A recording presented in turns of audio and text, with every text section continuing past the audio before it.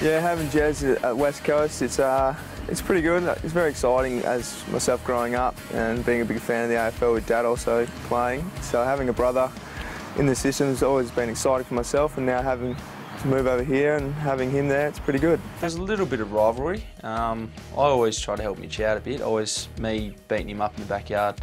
I try to put a positive spin on it, um, telling him that he'll uh, look back on it in a few years um, playing against some bigger bodies. He always had the priority being the, the older out of the two of us and the bigger one, so whatever he said pretty much went, and I just went along with it. Every week we'd pull the pillows out, throw the pillows on the back, lob the footy up and take a few hangs on each other. That was a, that was a given. The one that sits in my head the most is when we're trying to take speckies on each other.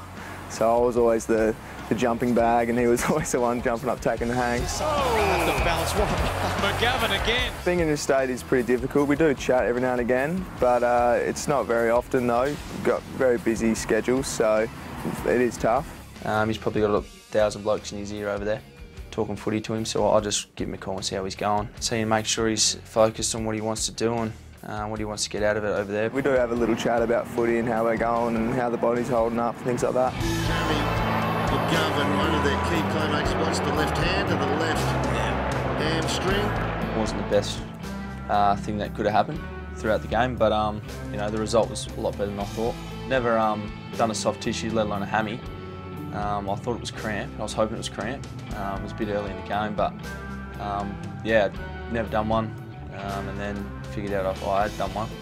So I sort of know what it feels like now, but um, just had to do the rehab the last couple of weeks to get it right, and hopefully um, I don't do one ever again. He's helped me out a lot, so he's uh, really got behind me this year. Obviously struggling with injuries and stuff, and he's always giving me a text and saying good day, asking me how my body's going, and always just stay positive and and to keep things moving forward. What a defender he is, McGovern. He reads it so well, doesn't he? So strong in the body too. Uh, I can learn a lot from the way he's playing, so just that key position player that can go both ends, mobile, reading the play, so things like that I can learn exactly what he does and hopefully I can try to get a bit out of him later on when I see him over the break. Mum's sort of been over there every second week. She's made an excuse of going over there for a holiday pretty much, so she's enjoying that, going over and supporting Mitch, but um, yeah, they've I think Mum's got a jumper made up.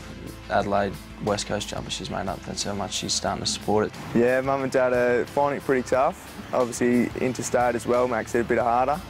But uh, they love it. They love the footy. They love our rivalry, and they, yeah, just want to support both of us as much as they can. Shields on McGovern. Just like selling peas, isn't it? Big Mitch. Big Mitch McGovern. I've dreamed about it for a long time, so we haven't played against each other or with each other. So I think at the highest level, it would be a dream come true. He delivers all that and more.